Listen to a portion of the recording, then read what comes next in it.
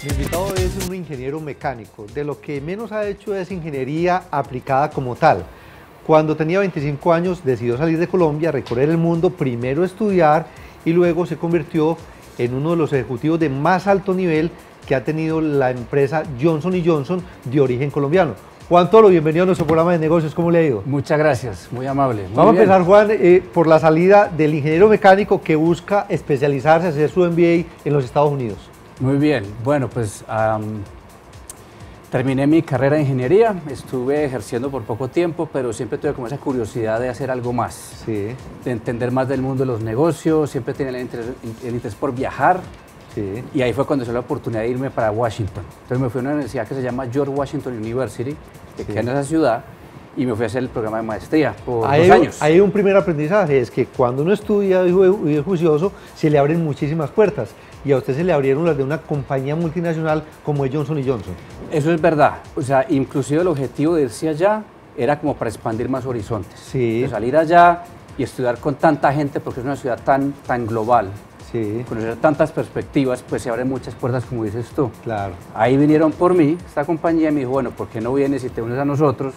Queremos que estés en un plan de, de rotaciones a nivel global y pues eh, me hicieron la invitación y acepté. inicialmente Ecuador, Colombia, ¿cómo era la cosa? Claro, entonces en un principio me dijeron, bueno, ¿por qué no te vas? Vas a ir a la, a la compañía que tenemos en Colombia y allá vas a estar eh, trabajando en finanzas. Entonces yo empecé como eh, tesorero, contralor y director financiero de Ecuador. Esos Sí. fueron los primeros pasos que yo vi allá. Una aclaración para dar para la gente es que Johnson Johnson es como una, es una especie como de holding de compañías, Sí, más que claro. una sola compañía. Entonces estuve en este grupo que era la parte de consumo y estuve ahí haciendo esta función financiera que no tenía experiencia. Sí, sí. Además, muy joven. Le tocaba ganarse la credibilidad de mucha gente. Eso, eso es cierto, o sea, inclusive a la persona que me contrató le tengo mucho aprecio porque él se la jugó conmigo realmente. Le dijo, hombre, yo confío en usted, le voy a dar esta posición. Sí. Eh, yo tenía 28 años cuando empecé en esa posición. Que ya era una posición de muy alto rango en, Claro. en dos países. Claro, y de mucha responsabilidad. O sea, estamos Sí. hablando del manejo de caja de la compañía, estamos hablando de reportes financieros, estamos hablando de dividendos y pues me confiaron la, la oportunidad. Bueno, también en el caso de, para que hablemos primero de este lado, también en Brasil una responsabilidad grandísima. En Brasil enorme, claro. Entonces la historia es que me dijeron, eh, no solamente puedes ser buen financiero, ¿por qué no te al área comercial? Sí. Entonces tuve una pequeña experiencia comercial acá y me dijeron, ¿por qué no se va Brasil? A que manejo una compañía del grupo que se llama Johnson Johnson Vision Care. Allá estuve en Brasil como gerente general de esa compañía. Sí. Bueno, gran aprendizaje porque usted me dice, bueno, hay que empezar como a explorar el mercado. En Brasil era un emprendedor más, a pesar de tener un respaldo de una compañía grandísima. Ese es un punto muy interesante porque siempre yo lo he visto así. O sea, realmente yo tenía como el respaldo de la compañía, pero en el fondo la iniciativa era ser un emprendedor. Claro. Porque por ser una compañía independiente, yo realmente lo que hacía era manejar la compañía como tal. Era, era mía. Es, Claro, es usted, usted la lleva, usted la maneja y es su iniciativa. ¿Y cuáles fueron las premisas que le permitieron ser tan exitoso en Brasil y posteriormente en las otras regiones? Yo creo que es lo mismo que distingue a cualquier persona que va a emprender, sea, sea un empleado o no. Y es que uno tiene que tener cierta, cierto arrojo y cierta audacia. Sí. Uno tiene que tener esa curiosidad por entender, por aprender, por crecer más. Yo siempre he dicho que yo aspiro a la excelencia y la excelencia uno nunca la va a alcanzar. Sí. Pero es como una buena, es una buena estrella polar, te va guiando, Sí. te va, te va queriendo ser mejor. En el fondo uno compite es con uno mismo, Claro. no con la competencia. Juan, hablemos de esos aprendizajes tan interesantes en Sí. Europa, donde usted, inicialmente en España y Portugal, desarrolla Sí. un excelente equipo, un talento que luego se convierten también en líderes de la compañía en todo el Sí. continente. Esa, eso es una historia que también es muy, muy bonita y que me llenó mucho a mí. Es, yo llegué a España y Portugal y me tocó un año muy bueno, Sí. que fue el 2007, pues el 2008 ya fue muy malo, porque esa fue la época que empezó la crisis que tuvo España, que después fue una crisis financiera global en el 2009. Entonces yo hablé con el equipo y le dije, bueno, somos nosotros los que tenemos que hacer esto. Entonces, o nos ponemos las pilas y, y- y damos todo lo que, lo que tenemos que dar, Sí. o nos vamos a, a quedar aquí a morir en la playa. Y ya entré en una dinámica con el grupo de desarrollo. Sí. Entonces me metí mucho en la cabeza que no solamente era gerenciar una empresa, sino desarrollar talento. Claro. Era gerenciar a través de otros. Se convierte usted en un coach en la práctica. Es- eso es verdad. Sí. Entonces mi, mi método de liderazgo fue, yo hago, yo les doy a ellos coaching moments a cada momento. Cada reunión de trabajo es un momento para pedirles aspirar por más. Para sacarles ese potencial que, interior que tiene cada uno. Exactamente. y lo desarrollaron en esa experiencia. Entonces el país, entonces España y Portugal se volvieron los países de mayor crecimiento de Europa, Sí. de Europa Occidental.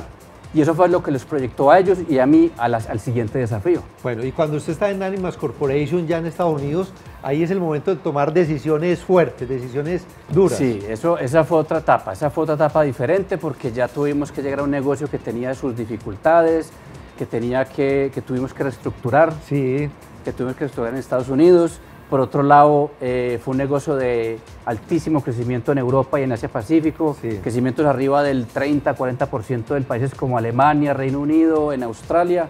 Entonces fue como vivir las dos realidades, Sí. de estar haciendo las dos cosas. Bueno, algo que es muy importante es el tema de los valores y cómo deben regir cada una de las actuaciones que nosotros tengamos en el mundo empresarial, en el mundo de los negocios, en la vida personal. ¿Cómo ha sido eso en su vida? Hombre, eso ha sido fundamental. Yo creo que uno no puede gerenciar si uno no tiene unos valores muy claros y muy fijos y muy arraigados. Sí, Eso realmente lo que crea en un negocio, te crea confianza, te crea credibilidad, es lo que te, te deja ver en el espejo todos los días, sí, para las cosas buenas y para las malas cuando tienes que tomar decisiones Claro. malas. Entonces es la forma como, es la única forma como yo sé liderar, es la única forma.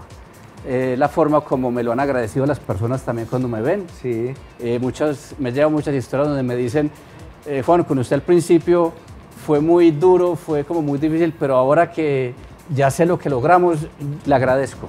Sí. Le agradezco por todo lo que logramos hacer. Entonces, para mí es fundamental. Mi forma de tomar decisiones yo- es, una, es, un- es casi un método que es que yo Sí. eh, hago una fusión de la cerebro, corazón y- e intuición. Sí. Yo no sé tomar decisiones de una forma distinta. Yo creo que cuando uno solamente usa el cerebro, van a ser decisiones muy, muy frías. Sí. Cuando uno solamente el corazón va a ser demasiado, demasiado apasionado. Además, a usted la práctica le ha demostrado que hay que creerle a la intuición. Sí.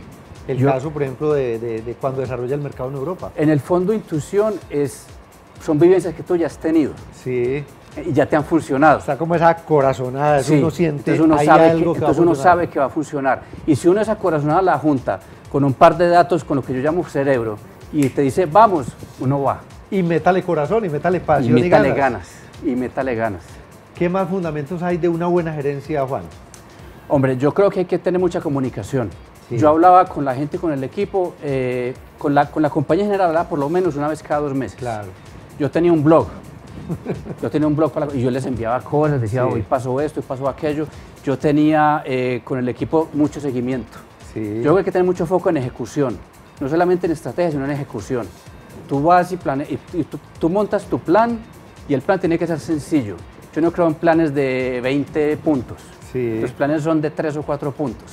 Y esos 3 o 4 puntos tienen que ser muy fáciles de comunicar. Que la persona inclusive que sigue los tintos sabe para dónde vamos. Sí. Y yo hacía eso también. A la persona, un operario de, de la, de la fábrica del piso, yo le decía, hombre, ¿y usted qué cree que es el futuro de nosotros? Y me decía los, los cuatro pilares, me los decía. Y no es porque tenía pósters puestos en la fábrica, no. Es porque hay que tener mucha comunicación y mucha empatía en esa comunicación. Claro. Y para eso también hay que tener mucha transparencia. Claro. Yo creo mucho en la transparencia. Juan, y el nuevo proyecto de vida tiene que ver con un fondo de inversiones. ¿De qué se trata? Bueno, mira, el, el primer proyecto de vida es que nosotros tuvimos, eh, bueno, casi 20 años por fuera de Medellín. Claro. Y nunca nos fuimos con la idea como de irnos del todo. Nos fuimos y siempre teníamos la idea de la ciudad en el corazón, el país en el corazón. Siempre seguimos conectados, cada año volvíamos, cada año eh, nos conectábamos, eh, veníamos a ver la gente y, y bueno, se dio como la oportunidad de decir, bueno, ¿será que es hora de volver? Y entonces pensamos en eso, eh, vamos de pronto a mon- montar un fondo de, de inversión. La, la dinámica emprendedora de esta ciudad me parece muy interesante y sobre todo lo digo con perspectiva de, de extranjero casi. Claro, sí. La digo pues, de alguien de afuera que yo creo que eh, se ve mucha gente con mucha curiosidad, con mucho interés de hacer cosas nuevas. Y dije, bueno, pues vamos a ver qué hay. El momento del país es muy bueno, es muy interesante también. También me, me ha parecido en mis pocos días que llevo acá que eh, la gente no se ha dado cuenta de eso, pero el cambio es, es brutal. Sí, claro. Es brutal, el cambio es impresionante. Eh, cuando yo he hablado con gente, eh, cuando yo estaba en Estados Unidos, en Europa, hablando con gente, ya saben lo que es Medellín Sí. Lo tienen ya, ya, saben, referente, sí. ya saben lo que se hace, eh, lo miran con mucho interés, con mucho respeto y eso a mí me llenó de mucha satisfacción. Y bueno, sería interesante ser parte de esa dinámica. Claro. Juan, de verdad que muchísimas gracias por compartir todas esas Muchas experiencias y conocimientos con nuestros televidentes en todo el mundo. Muchísimas gracias, eh, muy amables, es un placer para mí estar en tu programa. Muy bien, este es negocio, ya regresamos.